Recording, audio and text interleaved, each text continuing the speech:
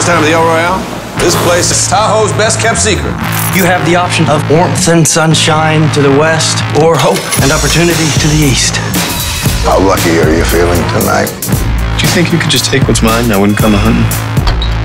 Well, I figured you would. And I'd be ready when you did. You don't look ready. This is not so good for us. Bad Times at the El Royale premieres Saturday, October 12th on Fox Movies.